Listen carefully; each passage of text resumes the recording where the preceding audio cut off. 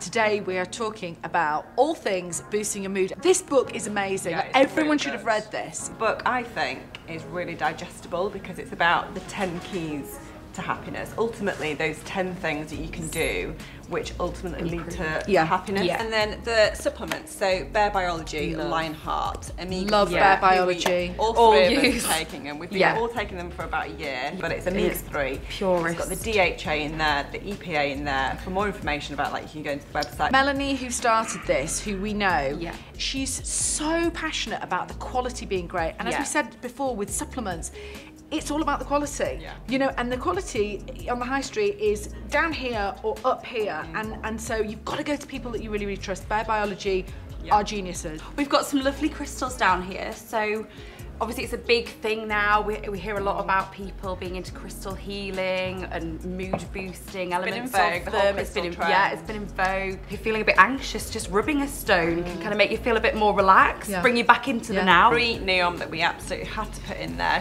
Great Day Wonder Balm. So we have so much in our happiness collection, um, but yeah, this is kind Oh, of the newest, and it's just lovely to carry around in your Lips, handbag, Lips, isn't it? cuticles, bits, little bit. For lips, for Lips lips, and and bits. bits. It's also got the mood boosting fragrance in there, but only a tiny bit because obviously you don't want a whole load of, of fragrance on your lips. But where there is a whole load of fragrance is in our jasmine bergamot orange peel scent to make you happy fragrance. This is. This is is a perfume that you kind of spritz every day whenever you need that kind of real boost, uh, Boost. boost isn't it? Yeah.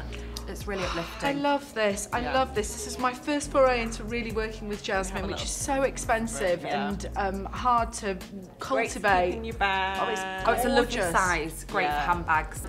Great Day Glow. It's I use it every morning. Uh, I put a bit of serum on and then I kind of tap this over the top because it is really moisturising, but also it has that natural zinc oxide in there, which is for your SPF. I'm really proud of the fact that we managed to nail a natural SPF. So that's our happiness edit. Brilliant selection of products that I think is going to really help you. Whether you're, yeah, whether you really need that kind of real boost or whether it's just something that you could do with a little bit of a pick me up for.